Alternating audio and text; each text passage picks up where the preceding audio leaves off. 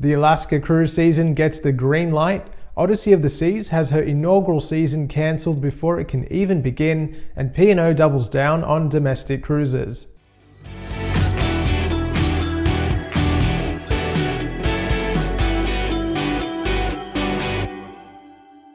I'm Adrian, the Cruise and Travel Guy. As always, thank you so much for subscribing to my channel. If you haven't done so yet, please hit that subscribe button. Royal Caribbean's brand new Odyssey of the Seas was due to set sail from Israel on June 2nd, offering cruises exclusively for vaccinated residents of Israel. As a direct result of the escalating conflict in the region, Royal Caribbean made the decision to pull the pin on the season. There were whispers that Royal Caribbean was having difficulties securing vaccinations for Odyssey of the Seas crew members, which may have led to voyage cancellations anyway. Affected guests have been offered a full refund or a future cruise certificate worth 125% of the fare paid. Odyssey of the Seas is now en route to Florida where she should arrive before the end of May. P&O Australia have released some more images of the Pacific encounter. Eager cruisers are able to get a better inside look at the ex-Star Princess's transformation into Pacific Encounter. Dragon Lady is one of the complimentary dining venues on board the ship, serving guests Pan-Asian cuisine with a modern twist and eye-catching design that extends from the dining room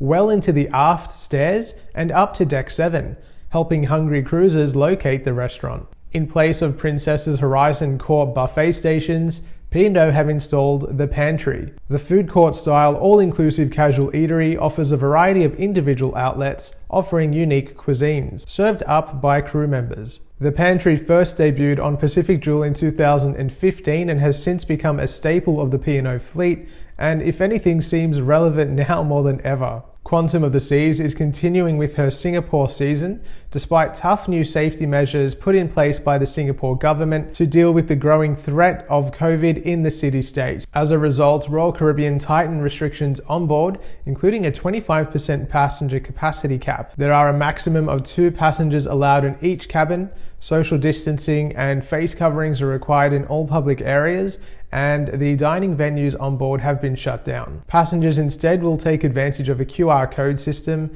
and have food ordered from their phone delivered directly to their cabin. Some venues will offer a takeaway option as well, so that means that passengers can take the food back to their stateroom from the venue itself. These strict new measures are predicted to stay in place until mid-June when they will be reviewed. Affected passengers not willing to sail under these new restrictions can opt for a full refund. And in some very exciting news for our American friends, the Alaska Tourism Recovery Bill has been passed by the US House. This means that cruise ships can operate between Washington and Alaska without the need to stop in a foreign distant port. Effectively, this bill allows cruise lines to bypass Canada and operate domestic cruises from the port of Seattle. Princess wasted no time in confirming their intent to return to Alaska between July 25th and September 26th this year. The seven night voyages will be on board the beautiful Majestic Princess offering industry leading medallion class technology. All guests will need to have received their second vaccination at least 14 days prior to boarding. You can watch my tour and Tasmanian cruise vlog on board Majestic Princess by clicking in the top corner or the link in the description below. Lastly, P&O Australia this week officially converted all of their remaining international itineraries for 2021